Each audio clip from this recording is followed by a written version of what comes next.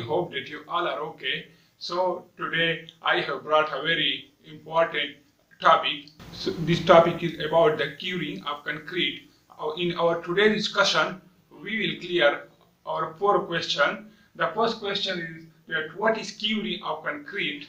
And the second question is that what is the purpose of curing of concrete? The third question is that what are the different methods of curing? And the fourth question is that the period of curing. So we will clear all questions in our today video. Watch the full video so that you people don't miss any point. Let's start. The first question. The curing is actually a process of watering a fresh concrete up to certain time period so that the concrete get its desired strength. Actually, after placing a fresh concrete, we are going to water the concrete because we want that this concrete achieve the full strength. That's why we are going to cure the concrete. As you can see, I have write also here that it is a process of watering a fresh concrete up to certain time period so that the concrete can desired strength. Well, this is all about our first question. Our second question is that what is the purpose of curing of concrete? As we know that concrete is a mixture of cement, sand, aggregate and water. When we add water to the mixture of cement, sand and aggregate, then there a process will take place which is known as hydration process. Hydration process is a process between water plus cement. So hydration process is the process, chemical process between water and cement, the ingredient of concrete. And this process, hydration process is actually an exothermic process. Exothermic process means that in this process, the heat will be released to the out system. So this is an exothermic process.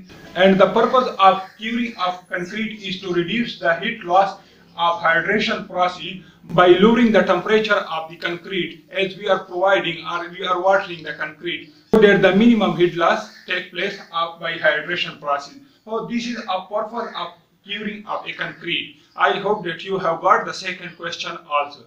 Now our third question is about the time period of curing of a concrete. That means that for how many times we should water the fresh concrete. So it depends on the types of cement we are using in a concrete. Here, if we are going to use a OPCs, ordinary Portland, ordinary Portland cement, then we will cure the concrete for minimum seven days. Minimum seven days. But if we are going to use a PPC, pozzolanic cement, that we will cure the concrete for minimum 10 days. For PPC, minimum 10 days.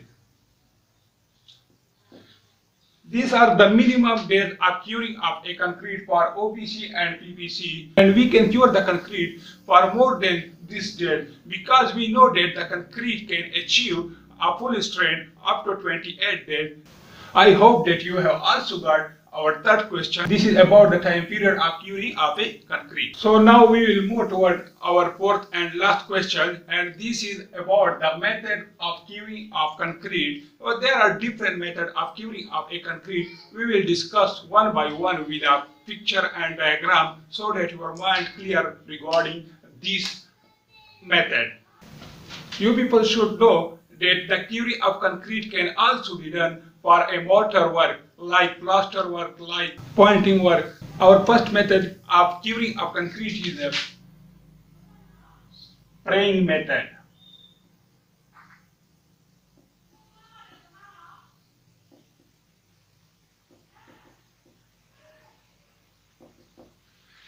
As the name represents, spraying is spraying method of curing of concrete. We will spray the water on fresh mixed concrete or a mortar or plaster work. Like if we have done a plaster, then we are going to spray a water on this fresh concrete or fresh plaster. Also, you can see in the picture about a spraying method. The spraying method is a method of spraying water on fresh concrete or fresh mortar work like uh, plaster, etc.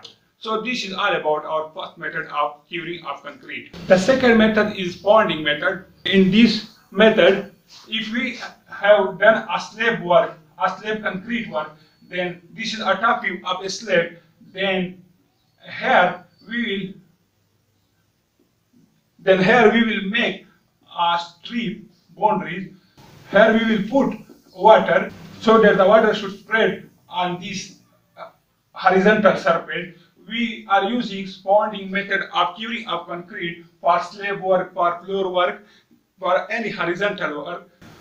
Also, you can see in the picture about the ponding method that this is used for uh, any horizontal surface of a freshly concrete.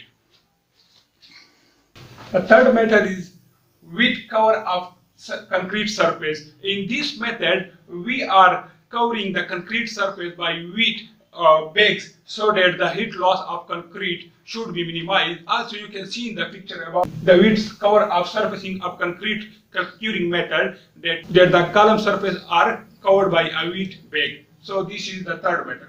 The fourth method of curing of concrete is the curing compound. In this method, we are going to use uh, some compound which will minimize the heat loss of a fresh concrete. So this is why, so this is why called a curing compound method of a curing of a concrete.